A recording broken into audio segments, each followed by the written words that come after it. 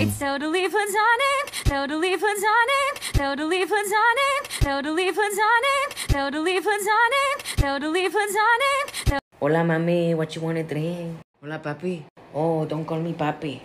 Don't call me mami. Fine, I will call you wifey. And I will uh, hand in your facey. In my facey or my assy assy? You're fucking nasty. I'm nasty but flirty. Shut up and bring me a Pepsi. A Pepsi. Or a wet kissy kissy. I'm gonna call the police. Un Pepsi para la señorita.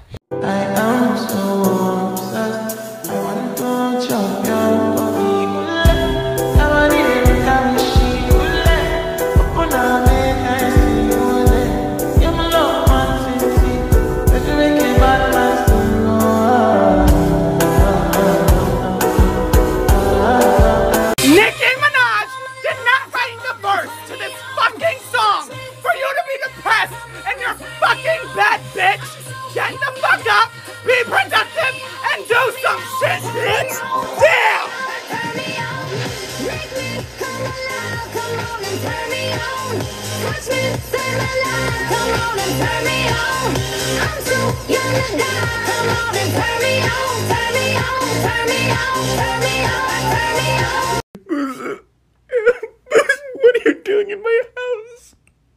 What are you doing in my house? I want waffle fries. Guys, you can go ahead and get started on the assignment now. Let me know if you have any questions, okay? Yes, what's up? You're on the right track, but you're forgetting the last two steps. There you go. You're getting closer, okay? You're getting closer. Well, no, see, now you're forgetting the last part. Remember, carry it over. Now take that number and divide it out by 100. Perfect. Bingo. You got it. Uh-huh. Yeah, what's up? Number 11? Okay, what was it? What was it?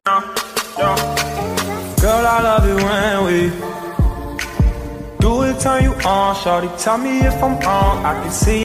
Hello, everybody, and welcome back to class. And since it's October 1st, I thought we could go around and say what our favorite Halloween activities are. Halloween? Oh, what is this? We do not celebrate. Oh, okay. Well, maybe the other kids can tell you. Riley? Okay. You go up to people's houses at night and demand candy and hope it's not booby trapped. Okay, that's not the that's not the best description. But the only catch is they'll only give you candy if you dressed up real nice for them in a costume. Ah, Costumes? Like what? A princess? A pirate? A police officer? A horror flick psychopath? A controversial political figure? For the most part, it's just adult professions or anything that makes you seem like an adult. Okay, I don't. Oh, and the best part is, is you can throw toilet paper and eggs at people's houses once you obtain the candy. No. Okay, let me get this straight. So you dress up to appear older than you are in most cases, and then trespass on people's property, and then bang on their door and demand free candy, gambling on the fact that it could be laced with something or have razor blades in it, and in return, you vandalize their property with things you can find in the bathroom or the fridge. And you are trying to terrorize and take advantage of as many homes as you can this night, duh? Yeah, that about sums it up. Yeah, pretty much. Yeah. This is amazing. This is new favorite holiday. That sign us up. Absolutely. Oh god.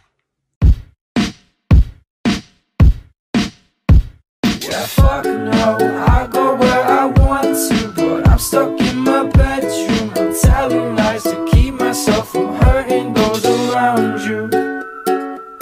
Yeah, after all these years, I found you. I found you. Jesus, I don't understand, man. Like, is this supposed to be attractive? I don't understand. What, what the fuck was that? What were you? Oh shit! Oh shit! No, I'm sorry. I'm sorry. I'm sorry, mommy. Sorry. Fuck. Sorry. I. Brother, help me!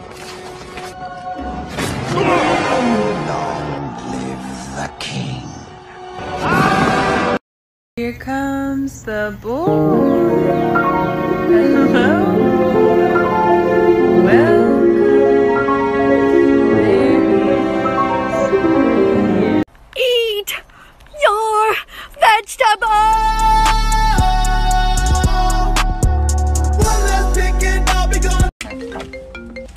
Hello? Hey, bitch!